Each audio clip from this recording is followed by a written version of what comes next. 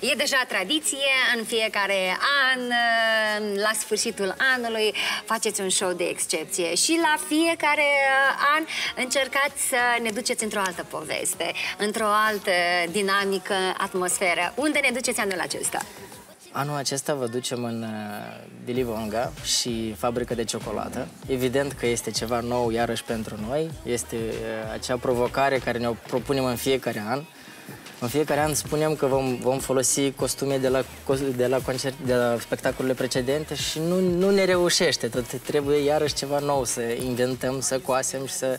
Uh, dar cum o spun de fiecare an, este un nivel care ne pune și pe noi să ieșim din uh, zona de confort, să facem ceva mai bun, ceva mai deosebit și mereu să stăm și noi încordați, să simțim că ne dezvoltăm, să simțim că facem ceva mai bun ca, ca anul trecut, că creștem și noi undeva.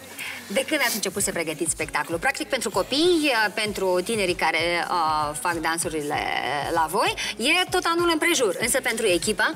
Uh, ești pentru copii și pentru noi. Uh, toate pregătirile înainte de fiecare concert durează o lună, mm. pentru că uh, sunt uh, repetiții adiționale care se fac în weekend pentru și părinții au o lună de, de uh, mai multă responsabilitate, mai puțin somn în weekend, pentru că trebuie să-și aducă copilașii la repetiții și evident să nu deranjăm pe cei care nu sunt la, la spectacol. Și aveam o lună să pregătim absolut tot. Firul roșu, despre ce este spectacolul, ca oamenii care vin să privească în sală spectacolul, într-adevăr, să se cufunde pe o oră jumătate în, în acea poveste. Adică nu e doar dans, nu sunt doar uh, coregrafii, uh, e, e un mesaj, e un fir roșu. Da, mesajul acestui spectacol este că fiecare merită a doua șansă, uh, pentru că, într-adevăr, oamenii sunt, trebuie să greșească ca să învețe să, să fie mai deștepți în viață, dar trebuie să greșească o dată.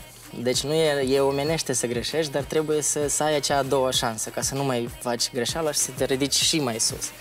Evident că fiecare spectacol are un mesaj și asta nu e, nu e, nu e din calea afară și evident că are acest mesaj destul de pozitiv, că fiecare merită a doua șansă și ca să fim mai buni. O să aveți ciocolată. Da, o să avem ciocolată și o să avem și mici surprize pentru toți oaspeții care vor veni la, la acest spectacol. Uh, surpriza o veți vedea la, în sală, când, dacă veți veni, așa că vă așteptăm cu mare drag. Uh, apropo, spectacolul este lunea aceasta, pe data de 16 decembrie la 18.30 în Teatrul de Operă și Balet Maria Bieșu și toți acești artiști care au dansat și acum și încă mulți alții vă așteaptă la un show incendiar cu voce de fundal de poveste, cu eroi principal, principali și cu acel fir roșu de, de poveste. De spectacol am vorbit, de pregătire am vorbit, dar tu reușești să dormi ca acasă, ai trei copii. uh, Cum acomodarea cu, cu gemenii? E pur și simplu bucuria asta care ne, ne, ne redă ei nou le acoperă absolut pe toate. Într-adevăr, este destul de complex momentul că dormim mai puțin, cu mult mai puțin. Acum, ieri, pare mi se vorbeam cu, cu Liza, cu soția, că Păi, de fapt, la un copil nu avem de, de, nevoie de, de, de bonă. pare, pare, tu nu știi? A fost ieri, la altă ieri. Da, da, cam așa, și asta inclusiv. Dar uh, ne-am dat întrebarea, dar tu știi că unul nu e așa de mare nevoie de bonă, de ajutor, parcă că acum e chiar foarte complicat, că uh, nu mai liniștești pe unul și îți trezește al doilea și tot așa, deci este, ești mereu în, în tonus uh, și somnul este împărțit la două. Ce-i drept că noaptea asta mi-a permis să dormim, erau destul de bravo, ambii. V-ați făcut așa da, da, da. Ce mare vă ajută?